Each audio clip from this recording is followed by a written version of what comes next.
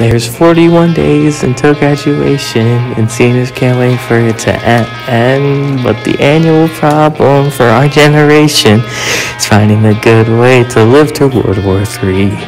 Like maybe building a fish tank or fighting the cavalry or climbing up a random tree. Discovering something that doesn't exist. Hey, or giving a gingerbread a shower. Studying a flight of stairs, creating videos, or looking a library book.